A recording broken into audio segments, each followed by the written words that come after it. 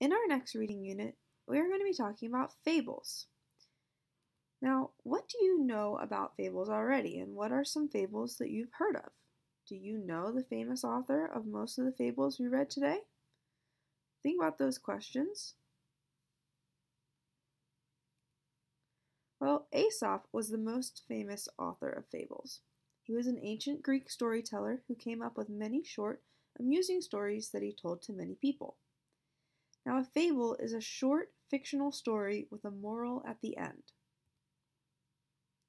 There are several characteristics that all fables share. So listen as I read a fable and try to determine the characteristics of fables. The Ants and the Grasshopper. One bright day in late autumn, a family of ants were bustling about in the warm sunshine, drying out the grain they had stored up during the summer, when a starving grasshopper, his fiddle under his arm, came up and humbly begged for a bite to eat. What? cried the ants in surprise. Haven't you stored anything away for the winter? What in the world were you doing all last summer? I didn't have time to store up any food, whined the grasshopper. I was so busy making music that before I knew it, the summer was gone. The ants shrugged their shoulders in disgust. Making music, were you? they cried. Very well, now dance! And they turned their backs on the grasshopper and went on with their work. The moral of the story is there's a time for work and a time for play.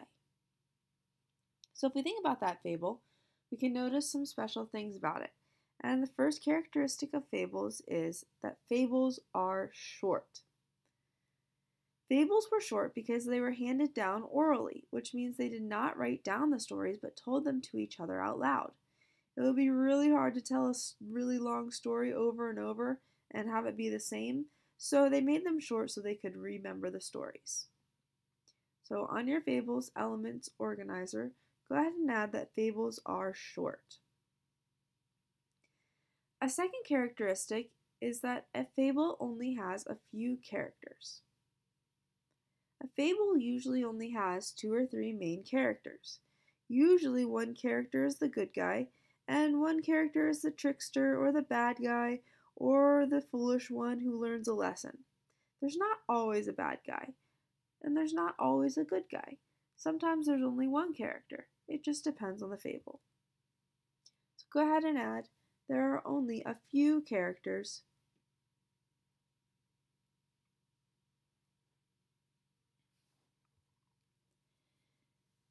The third characteristic of fables is that they use something called personification.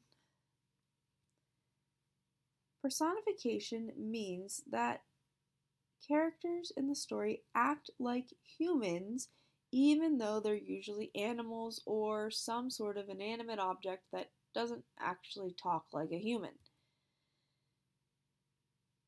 Go ahead and add characters have personification to your graphic organizer.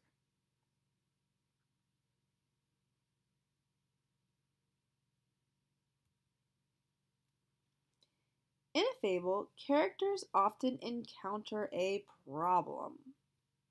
In a fable, the main characters usually have a problem that they have to solve. This problem is usually caused by the bad character who's trying to mess with the good character. Go ahead and add fables have a problem to your graphic organizer.